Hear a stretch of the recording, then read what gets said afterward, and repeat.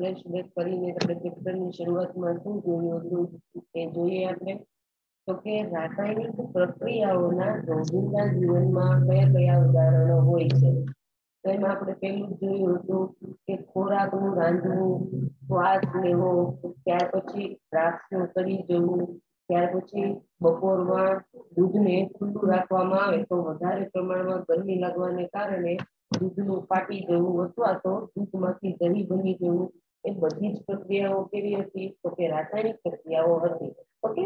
ત્યાર પછી આપણે નેક્સ્ટ બીજો ક્વેશ્ચન જોયો હતો કે મેગ્નેશિયમની કોઈ પટ્ટી છે એમને દહન કરવાની છે. દહન કરવું મતલબ સળગાવવામાં આવે તો એમનાથી પ્રક્રિયા કઈ થાય છે? તે રાસાયણિક પ્રક્રિયા લખીને આપણે દર્શાવવાનું હતું. જે તમારા ટેમ્પલેટમાં એ તો પ્રયોગ દ્વારા દર્શાવેલું છે. પણ આપણે જોઈ લેવાનું કે ચાલો જોઈએ કે મેગ્નેશિયમની પટ્ટી છે. મેગ્નેશિયમની પટ્ટી મતલબ કે કોઈ ધાતુની પટ્ટી છે. એમનું દહન કરવું. મતલબ એમને સળગાવશું તો વાતાવરણમાં રહેલો ઓક્સિજન તેમની સાથે પ્રક્રિયા કરશે. અને એમની આ પ્રક્રિયાથી શું બનશે? તો કે મેગ્નેશિયમ ઓક્સાઇડ આ પટ્ટીનું દહન થઈને આપણને સફેદ રાખ જેવું મળે છે. એને શું કહેવામાં આવે છે? Magnesium oxide. ઓકે? તો જોઈએ આપણે સમીકરણને પણ એક વખત રિવાઇઝ કરી લઈએ. શું લીધું હતું આપણે? મેગ્નેશિયમ, મેગ્નેશિયમની પટ્ટી કેવી અવસ્થામાં હોય છે? સોલિડ અવસ્થામાં. ત્યાર પછી તો કે એમનું દહન કરવામાં આવે ત્યારે વાતાવરણમાં રહેલો ઓક્સિજન કયા સ્વરૂપે હોય ટુ ગેસ સ્વરૂપે, ઓકે? અને એમના વચ્ચે પ્રક્રિયા થઈને શું બનશે? તો કે જે મેગ્નેશિયમની પટ્ટી છે, એમનું દહન થઈને સફેદ રાખ જેવું મળે છે. એમને કહેવામાં આવે છે મેગ્નેશિયમ ઓક્સાઇડ. રાખ કયા સ્વરૂપે મળે છે આપણને? ઘન સ્વરૂપે. એટલા માટે મેગ્નેશિયમ ઓક્સાઇડ, ઓકે? આ થયું રાસાયણિક સમીકરણ. અને એના પછી આપણે બીજો એક સવાલ જોયો હતો કે ઝિંક ધાતુની હાઇડ્રોજન ક્લોરાઇડ, મતલબ કે HCl અને H2SO4 મંદ સલ્ફ્યુરિક એસિડ વડે પ્રક્રિયા થઈને હાઇડ્રોજન વાયુ કેવી રીતે મુક્ત થાય છે અથવા તો હાઇડ્રોજન વાયુ કેવી રીતે મેળવી શકાય એનું રાસાયણિક સમીકરણ આપો. તો જોઈએ આપણે HCl માં અને H2SO4 એ બંનેમાં આપણે શું જોવાનું છે? ઝીંક ધાતુની રાસાયણિક પ્રક્રિયા, ઓકે? અહીંયા મેં તમને કીધું છે HCl અને H2SO4 બંને કેવી અવસ્થામાં હશે જલીય દ્રાવણ અવસ્થામાં.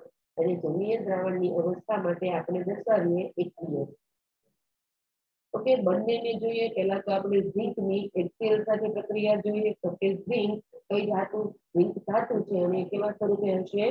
ઘન સ્વરૂપે, એટલા માટે ઝીંક સોલ્યુટ પ્લસ HCl સાથે પ્રક્રિયા કરવામાં આવશે, તો આપણને શું મળશે? તો કે એક તો મળશે ઝીંક ક્લોરાઇડ નો ક્ષાર, પ્લસ બીજું શું મળે છે આપણને? તો કે ઝીંક અને ક્લોરીનની બંનેની વચ્ચે પ્રક્રિયા થઈને ઝીંક ક્લોરાઇડ બન્યો અને પ્લસ પાછળ મળે છે આપણને હાઇડ્રોજન વાયુ. વાયુ સ્વરૂપે છે? એટલા માટે ગેસ. ઓકે? એ જ રીતે, તો કે હવે ઝીંક ધાતુની આપણે કોની સાથે પ્રક્રિયા કરવાની છે? H2SO4 સાથે. અહીંયા પણ ફરીથી જોઈએ. તો કે ઝીંક કઈ સ્વરૂપે છે ઘન અથવા તો ઘન અવસ્થામાં અને એમની H2SO4 સાથે પ્રક્રિયા થઈને શું બનશે અહીંયા પણ ઝીંક સલ્ફેટના ક્ષાર મળે છે શું મળશે ZnSO4 કઈ અવસ્થામાં મળશે ઘન અવસ્થામાં અને ત્યાર સાથે એની સાથે શું મળશે તો કે હાઇડ્રોજન વાયુ કે જે કયા સ્વરૂપે હશે ગેસ સ્વરૂપે ઓકે આ ત્રણ સવાલ જોયા હતા અને હવે એમના પછી આપણો નવો ટોપિક ચાલુ થાય છે, અથવા તો નવો ક્વેશ્ચન છે કે કોઈ રાસાયણિક પ્રક્રિયા થાય છે?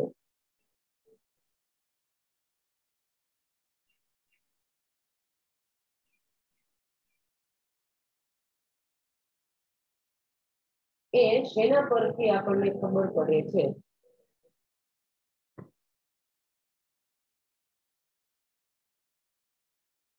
અથવા તો કોઈ રાસાયણિક પ્રક્રિયા થઈ છે, એમ આપણે ઓળખવું છે, તો એમના માટે શું શું જોવું જોઈએ? કે રાસાયણિક પ્રક્રિયા, ચાલો આપણને એમ આઈડિયા આવી જાય કે હા, આમના વચ્ચે રાસાયણિક પ્રક્રિયા થઈ હશે, તો એવું એમાં તો શું શું એવા ફેરફારો થશે કે જેના કારણે આપણે જાણી શકીએ કે હા, આમાં રાસાયણિક પ્રક્રિયા થઈ છે? તો એવા કુલ ચાર મુદ્દાઓ છે કે જેમાં પહેલો મુદ્દો આવે છે કે રાસાયણિક પ્રક્રિયા થતી વખતે કોઈ પ્રક્રિયકો છે, કોઈ સંયોજન છે, કોઈ તત્વ છે, તો એમની અવસ્થામાં ફેરફાર જોવા મળે છે. શું મળશે અવસ્થામાં ફેરફાર જોવા મળે છે. અવસ્થામાં ફેરફાર કઈ રીતે? તો કે જો આપણે જોઈએ છે એક રાસાયણિક પ્રક્રિયા હું તમને કહું કે હાઇડ્રોજન વાયુને ગેસ તરીકે લ્યો અને ક્લોરિન વાયુને પણ ગેસ તરીકે લ્યો. છે બંને ગેસ સ્વરૂપમાં, મતલબ વાયુ અવસ્થામાં છે. પણ એમની વચ્ચે રાસાયણિક પ્રક્રિયા થઈને જે એલસીએલનું બનવું છે, તો એલસીએલ ગેસ સ્વરૂપે મળે છે આપણને? નહીં. એમની અવસ્થામાં શું થાય છે? ફેરફાર જોવા મળે છે. હવે આપણને જે એચસીએલ મળે છે, એ જલીય દ્રાવણના રૂપમાં જોવા મળે છે. મતલબ કે કેવા સ્વરૂપમાં મળે છે? એક્વિયસ સ્વરૂપમાં. એચ ટુ છે, એમની ગેસ, એ પણ ગેસ છે. ક્લોરીન વાયુ છે, એ પણ ગેસ છે. પણ એમની વચ્ચે રાસાયણિક પ્રક્રિયા થઈને આપણને શું મળશે એચસીએલ અને એ અહીંયા કેવો હશે જલીય દ્રાવણ એચસીએલ સ્વરૂપે તો જો અહીંયા રાસાયણિક પ્રક્રિયા થઈને એમની અવસ્થામાં ફેરફાર થયેલો જોવા મળે છે તમને ઓકે તો હા એમનો મતલબ કે રાસાયણિક પ્રક્રિયામાં ફેરફાર થાય છે અથવા તો એમની વચ્ચે રાસાયણિક પ્રક્રિયા થઈ છે એવું કહી શકાય ત્યાર પછી આવે છે રંગમાં પરિવર્તન તો કે કોઈ તત્વ છે, કોઈ પરમાણુ છે, કોઈ સંયોજન છે, જો એમના રંગમાં પરિવર્તન જોવા મળે, તો આપણે કહી શકીએ કે આની વચ્ચે રાસાયણિક પ્રક્રિયા થઈ છે. હવે રંગમાં પરિવર્તન કઈ રીતે? તો કે આપણને ખબર છે કે જે આપણો લોખંડની કોઈ વસ્તુ છે આયન ઓકે તો એ કાળા કલરનું હોય અથવા તો કથ્થઈ રંગનું છે આપણું લોખંડ. પણ હવે જ્યારે વાતાવરણમાં રહેલું ભેજ, પાણી એમની વચ્ચે જ્યારે પ્રક્રિયા થાય છે આયન ઉપર અથવા તો લોખંડની વસ્તુ ઉપર, તો એકદમ ચોકલેટ બ્રાઉન કલરનો કથ્થાઈ રંગનું પણ જોવા મળે છે. મતલબ કે હકીકતમાં જેવું લોખંડ હતું, એમના કરતા હવે એમના રંગમાં શું જોવા મળે છે? પરિવર્તન. એમના રંગમાં ફેરફાર જોવા મળે છે. જેમ કે આપણે ત્રીજા ચેપ્ટરમાં જોયું કે તાંબાની જે સપાટી હોય એ કેવી હોય? પીળા ચળકાટ વાળી છે પણ એમાં વાતાવરણમાં રહેલા સલ્ફર અથવા તો કાર્બન ડાયોક્સાઇડ સાથે એમની પ્રક્રિયા થઈ, રાસાયણિક પ્રક્રિયા થઈ અને આપણને લીલા રંગની સપાટી જોવા મળે છે. તો એમાં પણ રંગ પરિવર્તન થયું, તો એ પણ કહી શકાય કે રંગ પરિવર્તન થયું, એમના લીધે એમાં રાસાયણિક પ્રક્રિયા થઈ છે. ઓકે? ત્યારબાદ હવે છે ત્રીજો કે તાપમાનમાં ફેરફાર જોવા મળે છે. તેમાં જોવા મળશે? તાપમાનમાં ફેરફાર. તાપમાનમાં ફેરફાર કઈ રીતે? તો કે કોઈ એવી રાસાયણિક પ્રક્રિયાઓ એવી હશે કે જેમની રાસાયણિક પ્રક્રિયાઓને અંતે આપણને જે પાત્રમાં અથવા તો જે વાસણમાં રાસાયણિક પ્રક્રિયા થયેલી જોવા મળે છે, એમની આસપાસનું જે કઈ પાત્ર છે એ ગરમ થયેલું જોવા મળે છે. મતલબ કે એમાં કંઈક તાપમાનમાં ફેરફાર થયો તો અમુક પ્રક્રિયાઓ એવી આવશે કે જેમાં આપણને આસપાસનું પાત્ર કે વાસણ જે કોઈ હશે, એ ઠંડુ થયેલું જોવા મળે છે. આમ, કોઈ રાસાયણિક પ્રક્રિયા થાય છે, તો એ એમના ઉપરથી પણ કહી શકાય કે એમાં તાપમાનમાં ફેરફાર જોવા મળે છે, ઓકે? અને હવે ત્યાર પછી છેલ્લો અને ચોથો મુદ્દો છે કે જો કોઈ તત્વ કે સંયોજન કે પરમાણુઓ વચ્ચે જ્યારે રાસાયણિક પ્રક્રિયા થાય છે, બધી જ રાસાયણિક પ્રક્રિયાઓ નથી કેતી પણ અમુક એવી રાસાયણિક પ્રક્રિયાઓ છે કે જેમાં રાસાયણિક પ્રક્રિયાઓના થવાના અંતે વાયુનું ઉત્પન્ન થાય છે. વાયુનું ઉત્સર્જન અથવા તો વાયુ ઉત્પન્ન થતો જોવા મળે છે. એમના ઉપરથી પણ આપણે કહી શકીએ કે હા, આમની વચ્ચે રાસાયણિક પ્રક્રિયા થયેલી જોવા મળે છે. જેમ કે આપણે આગળની પ્રક્રિયા જોઈ, કઈ તો કે આ ઝેડએલ વાળી કે જ્યારે ઝિંક ધાતુને એચસીએલ કે H2SO4 સાથે રાસાયણિક પ્રક્રિયા કરવામાં આવે ત્યારે ઝિંક ક્લોરાઇડ અને ઝિંક સલ્ફેટના ક્ષારો તો મળે જ છે. પણ સાથે સાથે બીજું શું મળે છે આપણને? હાઇડ્રોજન વાયુ. અને હાઇડ્રોજન વાયુ પેલા બબલ્સની જેમ પટોટાની જેમ ઉપર જોવા મળશે. અને વાયુ ઉત્પન્ન થયો એવું કહી શકાય. એમના ઉપરથી પણ આપણને જાણ થઈ શકે કે રાસાયણિક પ્રક્રિયા થઈ છે. ઓકે? તો આ થયા આપણો ટોપિક કે કોઈ રાસાયણિક પ્રક્રિયાઓ થઈ છે એવું ક્યારે કહી શકાય? તો કે ચાર મુદ્દાઓ પરથી કયા કયા તો કે પહેલું કે કોઈ તત્વ કે સંયોજન કે તત્વના પરમાણુઓની અવસ્થામાં શું જોવા મળશે ફેરફાર ત્યાર પછી તો કે રંગમાં પણ પરિવર્તન જોવા મળશે ત્રીજું તો કે તાપમાનમાં ફેરફાર જોવા મળશે અને ચોથું કે એ રાસાયણિક પ્રક્રિયા થાય છે તો એમના રાસાયણિક પ્રક્રિયાઓને અંતે અમુક વખત વાયુનું પણ ઉત્પન્ન થાય છે અથવા તો ઉત્સર્જન થાય છે જેમને આધારે કહી શકાય કે આ બે તત્વો વચ્ચે એક્સ વાય ઝેડ કોઈ પણ તત્વો હોય, એમની વચ્ચે રાસાયણિક પ્રક્રિયાઓ થાય છે. ઓકે? આ થયો આપણો સવાલ હવે છે નેક્સ્ટ સવાલ આપણો.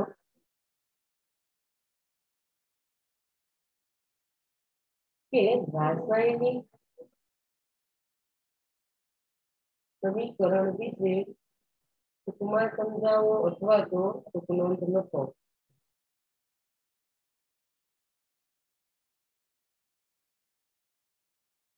તેના વિશે રાસાયણિક સમીકરણ વિશે ઓકે તો આ રાસાયણિક સમીકરણ શું છે? તો કે આપણે કોઈ પ્રક્રિયાઓ થાય છે ઓકે આપણે આપેલી પ્રક્રિયા ઉદાહરણમાં જોઈ કે મેગ્નેશિયમની પટ્ટીનું દહન થતા વાતાવરણમાં રહેલા ઓક્સિજન સાથે પ્રક્રિયા થઈને મેગ્નેશિયમ ઓક્સાઇડમાં રૂપાંતરણ થાય છે. આ થઈ એક આપણી રાસાયણિક પ્રક્રિયા ઓકે હવે આ રાસાયણિક પ્રક્રિયાને શાબ્દિક રીતે વર્ણન કરવામાં ઘણું બધું લાંબુ થઈ જાય છે. તો હવે આપણે વારંવાર કોઈ પ્રક્રિયાઓ થતી હોય તો એનું કઈ શબ્દોમાં તો વર્ણન કરવા નહીં દેખાય કે આમની આમની વચ્ચે આવી પ્રક્રિયા થઈને આ નિપજ મળે છે. ઓકે? તો એ તો બધું બહુ ઘણું બધું લાંબુ થઈ જાય. તો હવે એને લાંબુ નહીં પણ એનું જો આપણે સંક્ષિપ્તમાં વર્ણન કરવું હોય તો એનું શાબ્દિક વર્ણનમાંથી શાબ્દિક સમીકરણ બનાવવામાં આવે છે. જેમ કે આપણે જોઈએ, એક પ્રક્રિયા છે આપણી મેગ્નેશિયમની પટ્ટી વાળી જે આપણે જોઈએ હતી એ જોવાની છે, ઓકે? આ થયું આપણું મેગ્નેશિયમ અને એ એનું દહન કરવાનું છે. તો એ વાતાવરણમાં રહેલા ઓક્સિજન સાથે પ્રક્રિયા કરીને તેમાં રૂપાંતર પામે છે મેગ્નેશિયમ ઓક્સાઇડમાં. ઓકે, આ એક રાસાયણિક પ્રક્રિયા થઈ પણ જો તો તમે આને શાબ્દિક રીતે વર્ણન કરીએ તો કેટલું બધું લાંબુ થઈ જાય?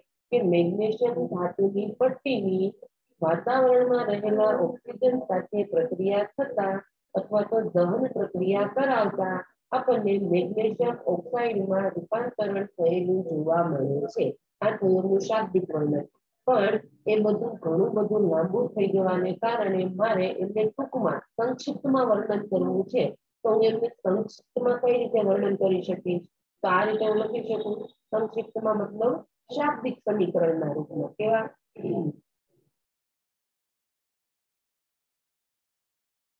શાબ્દિક સમીકરણના રૂપમાં. હું કઈ રીતે લખી શકું?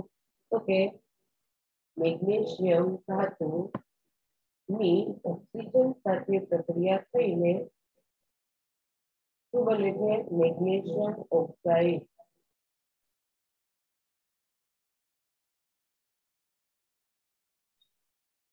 તો આ થયા આપણું સમીકરણ. ચાલો મેગ્નેશિયમ અને ઓક્સિજન વચ્ચે પ્રક્રિયા થઈને શું બને છે? Magnesium oxide. તો આ પણ ઘણું બધું લાંબુ થઈ જાય. હવે આમાં હું તમને કહું છું, જો આ આ જે એરો છે ને, એરાની આ લેફ્ટ બાજુ લેફ્ટ બાજુ એટલે કેવી બાજુ થશે? ડાબી બાજુ. તીરની ડાબી બાજુના બધા જ તત્વ કે સંયોજનોને શું કહેવામાં આવે છે? પ્રક્રિયકો. એ જ રીતે તીરની જમણી બાજુના જે કઈ તત્વ, જે કઈ સંયોજનો, જે કઈ મળે છે આપણને પરમાણુઓ, એ બધાને આપણે શું કહીશું? વિપજ જે તીરની કઈ બાજુ છે? જમણી બાજુ. ઓકે? તો હું આને આ રીતે એમ કહી શકું. Left hand side. મતલબ લેફ્ટ નો એલ હેન્ડ નો એચ અને સાઈડ નો એલ. લેફ્ટ હેન્ડ સાઈડ એ જ રીતે આજે આપણા તીરની જમણી બાજુ તો હું એમ કહી શકું રાઈટ હેન્ડ સાઈડ ઓકે તો હંમેશા યાદ રાખવાનું, કોઈ પણ રાસાયણિક પ્રક્રિયાઓમાં કિડની લેફ્ટ હેન્ડની સાઈડ શું હોય છે. પ્રક્રિયકો અને કિડની જમણી બાજુ એટલે કે રાઈટ હેન્ડ સાઈડ શું હોય છે આપણી નિપજો ઓકે તો આ જે લેફ્ટ હેન્ડ સાઈડ છે, એમાં કયા કયા તત્વો અથવા તો કયા કયા પ્રક્રિયકો છે? મેગ્નેશિયમ અને ઓક્સિજન. અહીંયા જે તીરની નિશાની છે, એ પણ હંમેશા યાદ રાખવાનું કે જે તીરનું માથું છે, એ હંમેશા નિપજની બાજુ હોય છે. જ્યારે તીરનો પૂછડી વાળો ભાગ કે પાછળનો ભાગ હંમેશા પ્રક્રિયકની બાજુ હોય છે. ઓકે? આ થયું આપણા પ્રક્રિયકો અને નિપજો વિશે. હજી અહીંયા જો તત્વ એક હોય, બે હોય, ત્રણ હોય કે ત્રણ કરતા વધારે હોય તો હંમેશા પ્રક્રિયકોને વચ્ચે ધન નિશાની વડે દર્શાવવામાં આવે છે. મતલબ કે હજી કોઈ જો પ્રક્રિયકો હોય તો એ એમને ધન કરીને મૂકી શકીએ એ જ રીતે કોઈ રાસાયણિક પ્રક્રિયાના અંતે આપણને જે કઈ નિપજો મળશે, એ નિપજોમાં અહીંયા તો આપણને મેગ્નેશિયમ ઓક્સાઇડ મળે છે. પણ જો એ સિવાયની કોઈ રાસાયણિક પ્રક્રિયાઓ હશે કે જેમાં એક કરતા વધારે નિપજો મળે છે તો આ બધી જ નિપજોને આપણે ધન નિશાની વડે આગળ ને આગળ દર્શાવવામાં આવે છે.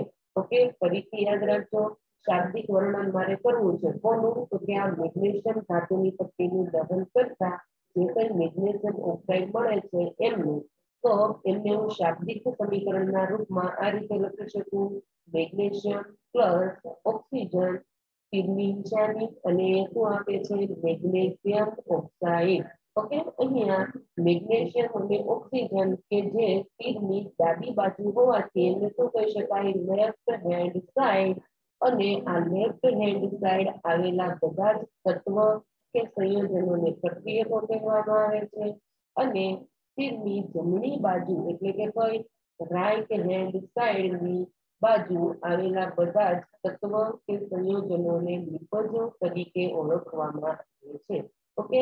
આ થયું આપણું શાબ્દિક વર્ણન. પણ આપણે તો કેવું સમીકરણ જોઈએ છે? રાસાયણિક સમીકરણ. હવે જે રીતે મેં તમને કીધું કે શાબ્દિક વર્ણન આપણે કરીએ, એ જ રીતે શાબ્દિક સમીકરણ પણ તમે જુઓ તો કેવી રીતે કેટલું બધું લાંબુ દર્શાવવું પડે છે? તો એટલું બધું લાંબુ ન દર્શાવવા માટે આપણે એમને સંજ્ઞા સ્વરૂપે દર્શાવીએ છીએ. અને હવે આ જ રાસાયણિક પ્રક્રિયાને જો આપણે સંજ્ઞા વડે દર્શાવવામાં આવે તો એ જે સમીકરણ બનશે, એમને કહેવાય રાસાયણિક સમીકરણ. આ જે શાબ્દિક સમીકરણ છે ને, એ રાસાયણિક સમીકરણનો પ્રાથમિક ખ્યાલ પણ કહેવામાં આવે છે. પ્રાથમિક ખ્યાલ એટલે કે મતલબ જ્યારે આપણે શાબ્દિક વર્ણન લાંબુ બધું નહીં કરવું હતું, ત્યારે આવા શાબ્દિક સમીકરણનો ઉપયોગ કરતા. પણ હજુ એમના કરતા વધારે એક્સ્ટ્રા અને સ્માર્ટ વર્ક કર્યું આપણે. અને હવે આપણે એમના તરફથી રાસાયણિક સમીકરણ પણ લખવામાં આવે છે કેવું રાસાયણિક સમીકરણ. તો રાસાયણિક સમીકરણ કઈ રીતે લખવાનું? તો કે જે શાબ્દિક સમીકરણમાં જે કોઈ રાસાયણિક પ્રક્રિયાઓ છે, એમાં રહેલા પ્રક્રિયકોના તત્વ કે સંયોજનો કે જે કંઈ આપણને નિપજ મળશે, એ બધા જ ને આપણે કોઈ રાસાયણિક સંજ્ઞા વડે દર્શાવવામાં આવે છે. ઓકે રાસાયણિક સંજ્ઞા વડે કઈ રીતે? તો કે અહીંયા જે મેગ્નેશિયમ છે, ચાલો મેગ્નેશિયમની સંજ્ઞા શું છે? Mg. ઓકે હવે ત્યાર પછી ઓક્સિજન કીધું છે, તો ઓક્સિજનની સંજ્ઞા પણ આપણે તત્વોનું આવર્તીય વર્ગીકરણ ભણ્યા તો આવડવી જોઈએ. ઓક્સિજનની સંજ્ઞા પણ શું છે? O2 અને એમની વચ્ચે પ્રક્રિયા થઈને આપણને શું મળે છે? Magnesium oxide. તો ચાલો મેગ્નેશિયમ ઓક્સાઇડ ને સંજ્ઞા સ્વરૂપે કઈ રીતે લખી શકાય? MgO ઓકે, આ થયું એમનું રાસાયણિક સમીકરણ. હવે આ રાસાયણિક સમીકરણને આપણે અવસ્થાઓ દર્શાવી દઈએ. ચાલો જોઈએ મેગ્નેશિયમ ધાતુ છે એ કયા સ્વરૂપે જોવા મળે છે આપણને? ઘન અવસ્થામાં. તો એમના માટે કઈ સંજ્ઞા આવશે? સોલિડ. એ જ રીતે વાતાવરણમાં રહેલો ઓક્સિજન આપણને કઈ અવસ્થામાં જોવા મળે છે? વાયુ અવસ્થામાં. તો એમાં શું દર્શાવવું પડશે? ગેસ. અને રાસાયણિક પ્રક્રિયા થઈને જે કઈ મેગ્નેશિયમ ઓક્સાઇડ મળે છે આપણો એ મેગ્નેશિયમ ઓક્સાઇડ આપણને કેવી અવસ્થામાં મળે છે? તો કે રાખ અવસ્થામાં. રાખ એટલે કે ઘન અવસ્થામાં. તો ઘન અવસ્થા માટે પણ આપણે શું દર્શાવવામાં આવે છે? સોલિડ એસ ઓકે આ થઈ ગઈ રાસાયણિક સમીકરણની અવસ્થાઓ દર્શાવી દીધી. હજી એક સ્ટેપ બાકી રહી ગયું. તો કે આ રાસાયણિક સમીકરણ સંતુલિત છે કે નહીં અને સંતુલિત નથી, તો એમને કેવું સમીકરણ કહેવાય? તો કેવા સંતુલિત સમીકરણ? તો એમના ઉપરથી પણ હવે પ્રશ્ન નવો ઊભો થશે કે અસંતુલિત સમીકરણ કોને કહેવામાં આવે છે? અથવા તો કંકાલ સમીકરણ કોને કહેવામાં આવે છે? સમજાવો, ઓકે? તો હવે આપણો નવો સવાલ થશે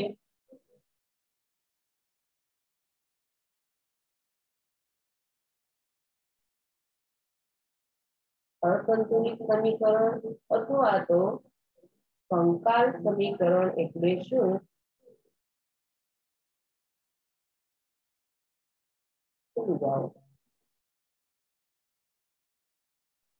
તો જોઈએ આપણને ખબર છે કે અસંતુલિત સમીકરણ એટલે તો કે સંતુલિત ન હોય એવા સમીકરણને અસંતુલિત સમીકરણ કહેવામાં આવે છે. પણ અહીંયા આપણે સમજાવવાનું છે કે અસંતુલિત સમીકરણ કોને કહેવાય? તો એમના માટે આપણે કોઈ આપણે જે આગળની શીખી ગયા એ જ પ્રક્રિયા લઈએ, તો કે કોઈ મેગ્નેશિયમ, હવે આ મેગ્નેશિયમ ધાતુની વાતાવરણમાં રહેલા ઓક્સિજન સાથે પ્રક્રિયા થઈને મેગ્નેશિયમ ઓક્સાઇડ મળે છે. આ છે આપણી સાદી અને સિમ્પલ રાસાયણિક પ્રક્રિયા. પણ અસંતુલિત સમીકરણ કોને કહીશું? તો કે તીરની ડાબી બાજુએ રહેલા પ્રક્રિયકો કે તત્વ કે સંયોજનમાં રહેલા પરમાણુઓની સંખ્યા કે પરમાણુનું દળ સમાન ન હોય. સમાન ન હોય કઈ રીતે? તો કે ડાબી બાજુ જેટલા મેગ્નેશિયમ કે ડાબી બાજુ જેટલા ઓક્સિજન છે, એટલા જ મેગ્નેશિયમ અને ઓક્સિજન જો જમણી બાજુ પણ સમાન ન હોય તો આવા સમીકરણને અસંતુલિત સમીકરણ કહેવામાં આવે છે. ચાલો આપણે ઉપરનું સમીકરણ જુઓ તો અહીંયા ડાબી બાજુ મેગ્નેશિયમ કેટલા છે? તો કે એ. ઓકે જમણી બાજુ છે હા, છે. હવે એ જ રીતે અહીંયા જુઓ તો ડાબી બાજુ ઓક્સિજન કેટલા છે? બે. અહીંયા જુઓ તો જમણી બાજુ ઓક્સિજન બે છે? નહીં. કેટલો છે? એક જ છે. એમનો મતલબ કે આપણું આ સમીકરણ કેવું કહેવાશે? અસંતુલિત. અસંતુલિત શા માટે? તો કે અહીંયા તીરની ડાબી બાજુ અને જમણી બાજુ અથવા તો અહીંયા ડાબી બાજુ જે કઈ છે એમને હું શું કહું છું? પ્રક્રિયકો. અને તીરની આ બાજુ જે કઈ છે એમને હું શું કહું છું? નિપજો. તો કે પ્રક્રિયકો અને નિપજોની પરમાણુઓની સંખ્યા કે દળ સમાન જોવા મળતા નથી. તેથી આ સમીકરણ અસંતુલિત સમીકરણ કહેવામાં આવે છે. ઓકે, સમજ પડી ગઈ? અને આવા અસંતુલિત સમીકરણને કંકાલ સમીકરણ પણ કહેવામાં આવે છે. કેવું સમીકરણ? કંકાલ સમીકરણ. કે જેમાં પરમાણુઓની સંખ્યા કે પરમાણુના દળ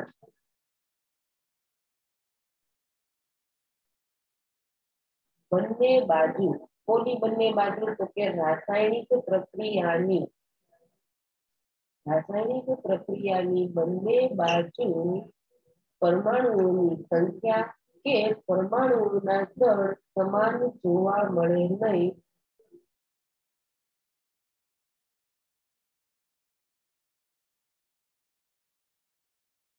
તેવી રાસાયણિક પ્રક્રિયાને અથવા તો તેવા રાસાયણિક સમીકરણને શું કહેવામાં આવે છે? અસંતુલિત સમીકરણ કે કંકાલ સમીકરણ કહેવામાં આવે છે. ઓકે? ચાલો, તો કે આ થયું અસંતુલિત અથવા તો કંકાલ સમીકરણ, તો મારે સંતુલિત સમીકરણ કોઈને કેવું હોય અથવા તો સંતુલિત સમીકરણની વ્યાખ્યા આપવી હોય, તો કઈ રીતે આપી શકાય? તો લખીએ, ચાલો, સંતુલિત સમીકરણ એટલે શું?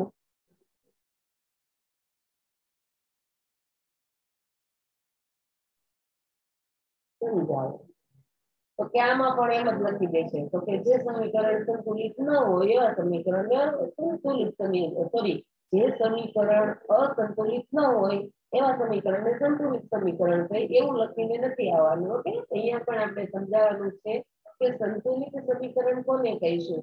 તો કે જે રીતે આપણે અસંતુલિત સમીકરણમાં જોયું, શું કીધું હતું? કે નિપજો અને પ્રક્રિયકો એમ બંને બાજુ પરમાણુઓની સંખ્યા કે દળ સમાન ન હોય તો એમને શું કહીએ છીએ આપણે અસંતુલિત સમીકરણ. ઓકે? તો સંતુલિત સમીકરણ કોને કહેવાય? તો કે જે રાસાયણિક સમીકરણમાં પ્રક્રિયકો અને નિપજો એમ બંને બાજુએ પરમાણુઓની સંખ્યા પરમાણુઓની સંખ્યા કે પરમાણુઓના દળ.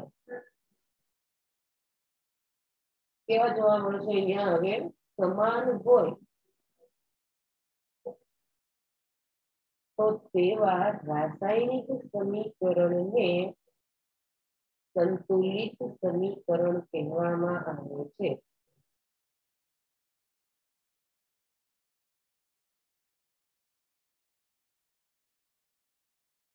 એ જ ઉદાહરણ આપણે જોઈએ અને એ જ સમીકરણમાં આપણે સંતુલિત કરીને જોઈએ એનું ઉદાહરણ, તો કયું ઉદાહરણ હતું? મેગ્નેશિયમ ધાતુનું ઓક્સિજનમાં સાથે પ્રક્રિયા થઈને શું બને છે? Magnesium oxide. જોયું આપણે કે જે આપણું આ સમીકરણ હતું એ સંતુલિત નહીં હતું, પણ હવે આપણે શું કરવાનું છે? સંતુલિત કરવાનું છે. સંતુલિત કરવું એનો મતલબ આપણે આ જે તીરની નિશાની જોવા મળે છે. એ તીરની ડાબી બાજુ અને જમણી બાજુ. ડાબી બાજુ શું હોય છે? પ્રક્રિયકો અને જમણી બાજુ શું હશે? નિપજો એમાં બંનેમાં આપણા પરમાણુઓની સંખ્યા અને પરમાણુઓના દળને શું કરવાના છે? સમાન સંખ્યામાં કરવાના છે. ઓકે? તો ચાલો જોઈએ. અહીંયા મેગ્નેશિયમ ધાતુનો એક અણુ છે. અહીંયા છે મેગ્નેશિયમ ધાતુનો એક અણુ. ઓકે, છે. હવે જોઈએ ઓક્સિજન ધાતુનો અણુ. તો કે ઓક્સિજન ધાતુનો અણુ અહીંયા કેટલા છે? બે. પણ અહીંયા જુઓ તો જમણી બાજુ બે જોવા મળે છે. નહીં. તો હવે આ સમીકરણને આપણે બે કરવા પડશે ને સમાન.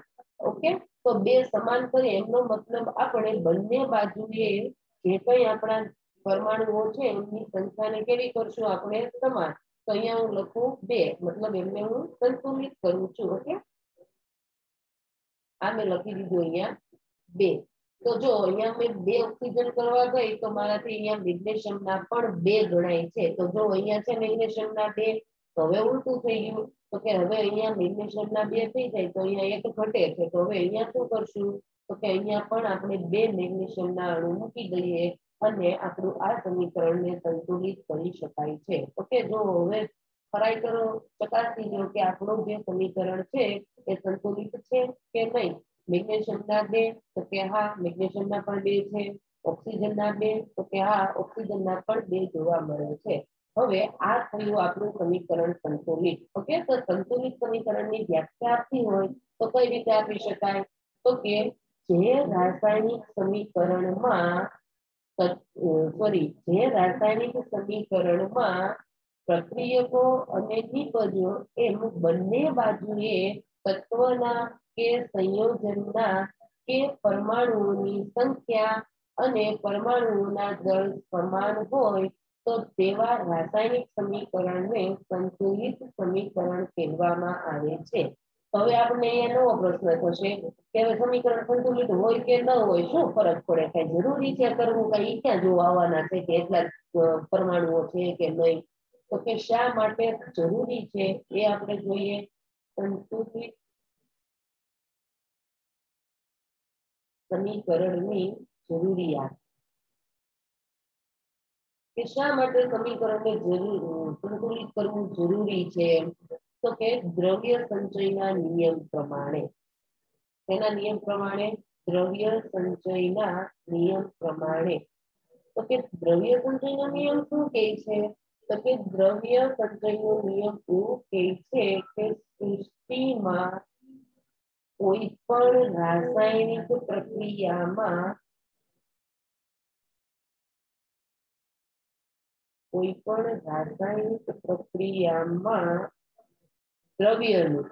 દ્રવ્યનું એટલે કે જે કઈ આપણે પ્રક્રિયામાં, જે કઈ આપણે પ્રક્રિયા તરીકે લઈએ, તત્વ લઈએ, કોઈ સંયોજન લઈએ, કોઈ ધાતુ લઈએ, ગમે લઈએ. સૃષ્ટિમાં કોઈ પણ રાસાયણિક પ્રક્રિયામાં દ્રવ્યનું નવું સર્જન કે વિનાશ શક્ય ક્યારેય નથી. ક્યારે? સર્જન કે વિનાશ થઈ શકે નહીં. આ છે આપણા દ્રવ્ય સંચયનો નિયમ ફરીથી તો કે દ્રવ્ય સંચયનો નિયમ શું કહે છે કે હંમેશા કોઈ પણ રાસાયણિક પ્રક્રિયા થશે, એ રાસાયણિક પ્રક્રિયામાં જેટલા અણુ કે જેટલા પરમાણુઓ પ્રક્રિયક તરીકે ભાગ લેશે, એટલા જ અણુઓ કે એટલા જ પરમાણુઓ આપણને એ રાસાયણિક પ્રક્રિયા થઈને નિપજના સ્વરૂપમાં મળે મળે ને મળે. હા, કોઈ અલગ અલગ સ્વરૂપમાં મળે, કોઈ હાઇડ્રો, કોઈ ગેસ સ્વરૂપમાં મળશે, કોઈ બીજા સાથે જોડાઈને કઈ તો ક્ષાર બનાવી દેશે પણ કંઈક ને કંઈક જગ્યાએ એ પરમાણુ એના એ જ સ્વરૂપે, એની એ જ સંખ્યામાં અને એના એ જ દળમાં જોવા મળે છે. મતલબ કે એમના પરમાણુઓના દળની સંખ્યામાં કે એમના દળમાં ક્યારેય કોઈ ફેરફાર થશે નહીં. એમનો મતલબ જેટલા અણુઓને સંયોજનો પ્રક્રિયામાં ભાગ લે છે, નિપજમાં પણ આપણને એટલા મળવા જ જોઈએ. પ્રક્રિયકો અને નિપજોમાં બંનેમાં કોઈ પણ તત્વ, સંયોજન કે પરમાણુની સંખ્યા હંમેશા સમાન જ હોવી જોઈએ એવું આ દ્રવ્ય સંચયનો નિયમ કહે છે. એટલા માટે આપણે કોઈ પણ રાસાયણિક પ્રક્રિયામાં કોઈ પણ તત્વ, સંયોજન કે પરમાણુ હોય, એમને પ્રક્રિયકની આ બાજુ મતલબ કે પ્રક્રિયકોમાં અને નિપજોમાં બંનેમાં એમની સંખ્યા અને એમનું દળ સમાન છે કે નહીં એ સંતુલિત કરીએ છીએ. ઓકે, સમજ પડી ગઈ કે સંતુલિત સમીકરણ શા માટે જરૂરી છે? શા માટે આપણે સમીકરણને સંતુલિત કરવું પડે છે? ઓકે, દ્રવ્ય સંચયના નિયમને આધારે. તમને એક માર્ક્સમાં એમસીક્યુમાં અથવા તો કારણમાં પૂછાઈ શકે કે કોઈ એક સમીકરણ આપી દે અને એમ કહે કે આ સમીકરણને સંતુલિત કરવું જરૂરી છે અને જો જરૂરી હોય તો શા માટે? તો તમારે આ આખું લખવું પડશે. કે દ્રવ્ય સંચયના નિયમને આધારે દ્રવ્ય સંચયનો નિયમ શું કહે છે કે સૃષ્ટિમાં કોઈ પણ રાસાયણિક પ્રક્રિયા થશે ત્યારે દ્રવ્યનું કોઈ પણ જાતનું નવું સર્જન કે વિનાશ શક્ય નથી. એટલે કે રાસાયણિક પ્રક્રિયકની શરૂઆતમાં પ્રક્રિયકો અને રાસાયણિક પ્રક્રિયાના અંતમાં જે કઈ નિપજો મળશે એ બંનેમાં પરમાણુઓની અથવા તો દ્રવ્યનું જે કઈ સંખ્યા અને મૂલ્ય છે એમનું એ સમાન રૂપમાં રહેશે, ઓકે? આ થઈ આપણી સંતુલિત સમીકરણની જરૂરિયાત. હવે જોઈએ આપણે સમીકરણને સંતુલિત કરવા માટેની મોસ્ટ આઈપી અને ઇમ્પોર્ટન્ટ સવાલ અથવા તો થિયરી ગણીએ તો પણ એ સંતુલિત સમીકરણ માટેની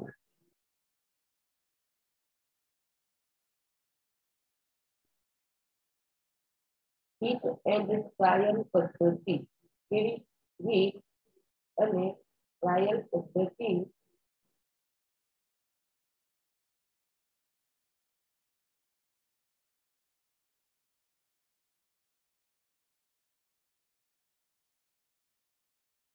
અને ટ્રાયલ પદ્ધતિ તબક્કાવાર સમજાવો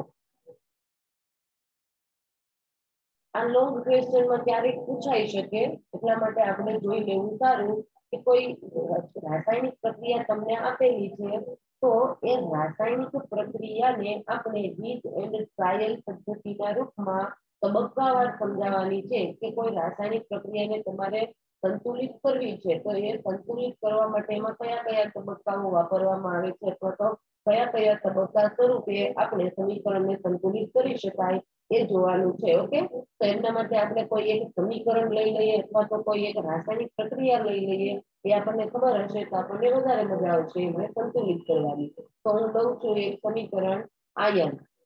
ઓકે? આ આયનની પાણી સાથેની પ્રક્રિયા કરવાથી Fe3O4 આયન ઓક્સાઇડ અને હાઇડ્રોજન વાયુ મળે છે. ફરીથી એક સમીકરણ છે અથવા તો કોઈ એક રાસાયણિક પ્રક્રિયા છે કે હું શાબ્દિક રીતે વર્ણન કરું તો એમ કહી શકું કે કોઈ એક આયન ધાતુ છે એ પાણી સાથે પ્રક્રિયા કરીને ધાતુના શું બનાવે છે? ઓક્સાઇડ. શું બનાવે છે અહીંયા? આયન ઓક્સાઇડ અને પ્લસ હાઇડ્રોજન વાયુ છૂટો પાડે છે. આ રાસાયણિક પ્રક્રિયાને આપણે તબક્કાવાર સંતુલિત કરવાની છે. તો જોઈએ આપણે તબક્કાવાર કઈ રીતે સંતુલિત કરશું? તો કે એમનો પહેલો તબક્કો છે સ્ટેપ વન શું કરવાનું છે? તો કે કોઈ પણ જે કઈ રાસાયણિક પ્રક્રિયા હશે, એ રાસાયણિક પ્રક્રિયામાં ભાગ લેતા તત્વો કે સંયોજનોની ફરતે ચોરસ બોક્સ કરવામાં આવે છે. તત્વો કે સંયોજનો ની ફરતે ચોરસ બોક્સ કરવું. ઓકે, ચાલો આપણે ચોરસ બોક્સ કરી દઈએ આપણી આ છે રાસાયણિક પ્રક્રિયા. આયનની પાણી સાથેની પ્રક્રિયા થતા આપણને શું મળે છે? AP three O four iron oxide અને હાઇડ્રોજન વાયુ મળે છે. તો કીધું છે આપણને પહેલા તબક્કામાં કે દરેક જે કંઈ આપણું તત્વ અથવા સંયોજનો છે, એની ફરતે શું કરવામાં આવે છે બોક્સ ઓકે? તો આ રીતે એમને બોક્સના રૂપમાં દર્શાવી દઈએ. ઓકે. ત્યાર પછી તો કે બીજો તબક્કો શું કહે છે?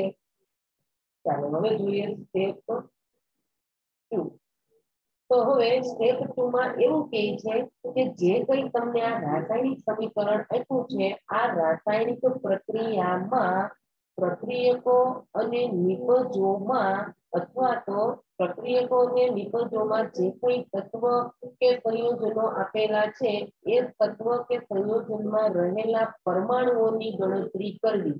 પરમાણુઓની ગણતરી કઈ રીતે કરવી? તો કે પેલા આપણે જોઈ લઈએ કે આપણા રાસાયણિક પ્રક્રિયા અથવા તો સમીકરણમાં કયા કયા પરમાણુઓ આવેલા છે. તો તે ત્રણ પરમાણુઓ છે, કયા કયા? તો કે એક છે આયન, ત્યાર પછી છે હાઇડ્રોજન અને ઓક્સિજન. કેટલા પરમાણુઓ છે? ત્રણ. ફરીથી આયન, હાઇડ્રોજન અને ઓક્સાઇડ. ઓકે તો કે આ જે હાઇડ્રોજન હાઇડ્રોજન ઓક્સિજન અને આયન છે, એ પરમાણુની ગણતરી કેમ કરવી કેમ કે તો આ બાજુ પણ છે અને આ બાજુ પણ છે. ડાબી બાજુ પણ જોવા મળે અને જમણી બાજુ પણ જોવા મળે. તો અહીંયા આપણે ઉપર દર્શાવી દઈએ left hand side left hand side મતલબ શું દર્શાવશે આ પ્રક્રિયા અને અહીંયા હું દર્શાવી દઉં right hand side right hand side છે, એનો મતલબ એ શું દર્શાવે છે? નિપજો ઓકે? ચાલો જોઈએ. હવે આયન જે પરમાણુ છે એમની લેફ્ટ હેન્ડ સાઈડ મતલબ પ્રક્રિયકોમાં એમના પરમાણુની સંખ્યા કેટલી છે? ગણો જોઈએ કેટલી છે? એક. ઓકે? હવે એમની જમણી બાજુ જુઓ તો અહીંયા આપણા જે આયન પરમાણુઓ છે, એમની કેટલી સંખ્યા છે? તો કે ગણો, એપી થ્રી આપ્યા છે. શું આપ્યા છે? એપી થ્રી. કેટલી સંખ્યા થઈ? ત્રણ. ઓકે? હવે ચાલો જોઈએ હાઇડ્રોજન માટે. તો કે હાઇડ્રોજન માટે ત્રિભુજની ડાબી બાજુ જુઓ પ્રક્રિયકોમાં કેટલા હાઇડ્રોજન આપ્યા છે આપણને બે.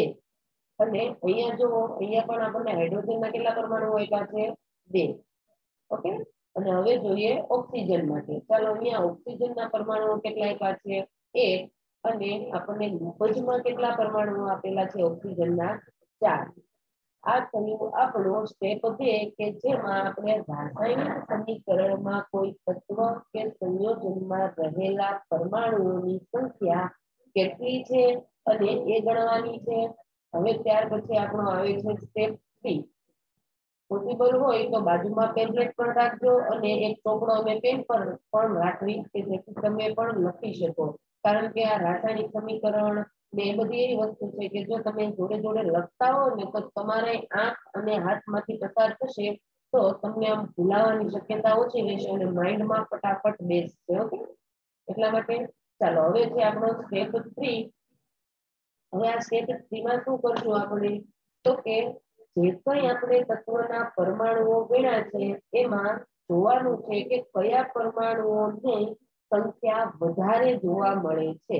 તો જોઈએ પેલા તો કે જે તત્વ અથવા તો જે પરમાણુની સંખ્યા વધારે જોવા મળે, એમની પસંદગી આપણે પેલા કરશું.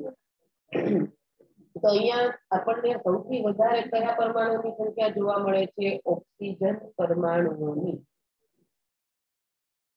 કેટલા છે ઓક્સિજનના પરમાણુઓ? ચાર. તો હવે એમને આધારે આપણે ગણતરી કરીએ તો કે લેફ્ટ હેન્ડ સાઈડ આપણને ઓક્સિજન કેટલા જોવા મળે છે? 8 અને રાઈટ હેન્ડ સાઈડ આપણા કેટલા ઓક્સિજન અણુઓ છે? ચાર. એમનો મતલબ આપણે લેફ્ટ હેન્ડ સાઈડ જો ચાર ઓક્સિજન કરવા પડશે અને ચાર ઓક્સિજન આપણે ત્યાં કરવા હોય, તો અહીંયા જે આપણું સમીકરણ છે સ્ટેપ 1 માં છે ને સમીકરણ, જો ટુઓ ત્યાં આપણને ઓક્સિજન આપેલો છે. ત્યાં આપણે ઓક્સિજન ચાર કરવા હોય, તો આપણે ત્યાં શું મૂકવું પડશે? ચાર. તો આપણું સમીકરણ કઈ રીતે થશે? આમ થશે. એપી પ્લસ ચાર H H2O will give us Fe3O4 plus H2. Okay આ થયું આપણું સમીકરણ સ્ટેપ 3 માટેનું, કે જેમાં આપણે ઓક્સિજનના ચાર પરમાણુઓ છે એમને જોઈને સંતુલિત કર્યા. તો પણ તો જો હવે પડી જશે. હવે સ્ટેજ 4 શું આવે છે? તો કે હવે તત્વો કે સંયોજનોમાં રહેલા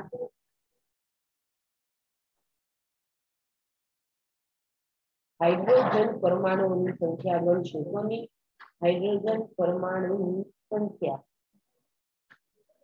કે અહીંયા જો ચલો હાઇડ્રોજન પરમાણુઓ માટે લેફ્ટ હેન્ડ સાઈડ કેટલા પરમાણુઓ છે હાઇડ્રોજનના?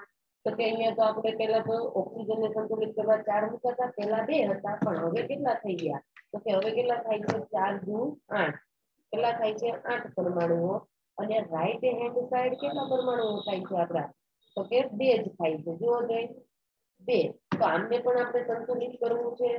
લેફ્ટ હેન્ડ સાઈડ અને રાઈટ હેન્ડ સાઈડ આપણે બંને બાજુ સંખ્યા કેવી કરવાની છે? સમાન. ઓકે તો સમાન કરવા માટે આપણે આ બે છે, અહીંયા હું ચાર મૂકું તો થશે ને? ચાર જૂના આઠ. મતલબ હવે લેફ્ટ હેન્ડ સાઈડ અને રાઈટ હેન્ડ સાઈડ બંને બાજુ કેવા થઈ જાય છે? આઠ. તો મારે અહીંયા જે આ ચાર છે એ ક્યાં મૂકવા પડશે? રાઈટ હેન્ડ સાઈડ મતલબ આપણા સમીકરણના સોરી નીચે જો જમણી બાજુએ આપણે જે હાઇડ્રોજન છે ત્યાં મૂકવા પડશે ને ચાર? તો ચાલો એ સમીકરણ હવે આપણું કેવું થશે? F E plus four H two O F E three O four plus અહીંયા જે ચાર આપણે ગણ્યા છે એ મૂકવા પડશે ને ચાર? H2 ઓકે ચાલો હવે જો આપણા હાઇડ્રોજન અને ઓક્સિજન થઈ ગયા છે સંતુલિત હવે આપણું સમીકરણ સ્ટેપ આવે છે 5 સ્ટેપ 5 માં શું કરવાનું છે? તો કે હવે એપી પરમાણુઓની સંખ્યા ગણવાની છે. એપી પરમાણુઓની સંખ્યા કેટલી છે? જોઈએ. લેફ્ટ હેન્ડ સાઈડ કેટલી છે? તો કે લેફ્ટ હેન્ડ સાઈડ એક જ છે. અને રાઈટ હેન્ડ સાઈડ કેટલી જોવા મળે છે આપણને? ત્રણ. તો કે હવે અહીંયા પણ આપણે left hand side and right hand side બંને બાજુ સંખ્યા કેવી કરવી પડશે સમાન. તો અહીંયા વધારે છે ત્રણ, તો અહીંયા જે એક છે એને હું ત્રણ વડે ગુણી શકું? તો બંને બાજુ થઈ જશે ત્રણ ત્રણ. ઓકે ઓકે તો એના માટે મારે એપી મૂકવું એપી પાસે શું મૂકવાનું આવશે? ત્રણ. તો આપણું સમીકરણ થશે three F T plus four H two O will give us Fe3 O4 plus 4H2O. Okay, આ થયું આપણું સંતુલિત સમીકરણ સમીકરણ તો સંતુલિત થઈ ગયું, પણ હજી બે સ્ટેપ બાકી છે કયા કયા સ્ટેપ તો કે જોઈએ, હજી આપણે આ સ્ટેપમાં શું કરવાનું છે, ચકાસવાનું છે કે બંને બાજુ કે જેમાં બંને બાજુ કઈ કઈ left hand side and right hand side બંને બાજુ સમાન છે ને તો પ્રક્રિયકો અને નિકોજોના પરમાણુઓ કે વધી નથી ગયા ને એ ચેક કરવાનું અને છેલ્લો આપણો સ્ટેપ આવે છે ભૌતિક અવસ્થાઓ મૂકવાની છે. તો મૂકશું આપણે ભૌતિક અવસ્થાઓ કઈ રીતે ભૌતિક અવસ્થાઓ નક્કી કરશું? તો કે ભૌતિક અવસ્થાઓ નક્કી કરવા માટે અહીંયા આપણે જોઈએ ભૌતિક અવસ્થા માટે નેક્સ્ટ લેક્ચરમાં આપણે ડીપમાં જોઈશું કે કેવી કેવી અવસ્થાઓ માટે કઈ કઈ નિશાની છે. અહીંયા જે આપણું એફી હશે એ કેવા સ્વરૂપે હશે? સોલિડ ઘન સ્વરૂપે. ત્યાર પછી આપણું જે અહીંયા ફોર એચ છે એ કઈ અવસ્થામાં છે લિક્વિડ સ્વરૂપે. અને અહીંયા જે આપણને મળે છે એફી થ્રી ઓ ફોર ઓક્સાઇડ એ આપણને કયા સ્વરૂપે જોવા મળશે? સોલિડ સ્વરૂપે અથવા તો ઘન સ્વરૂપે. અને અહીંયા ફોર એચ ટુ પાણી હંમેશા કેવા અવસ્થામાં હોય છે લિક્વિડ અવસ્થામાં એટલા માટે એ હજી આપણે આ જે ભૌતિક અવસ્થાઓ છે એમના માટે કઈ કઈ નિશાનીઓ છે કઈ અવસ્થા હોય તો શું મૂકવામાં આવે એ હવે આપણે નેક્સ્ટ લેક્ચરમાં જોઈશું અત્યારમાં આપણા લેક્ચરનો ટાઈમ પણ પતી ગયો છે તો જેટલું આ ચાલ્યું છે એટલું એક વખત રીડિંગ કરજો અને પોસિબલ હોય તો એક વખત રાઈટ કરીને ટ્રાય કરજો ઓકે ચાલો પ્લીઝ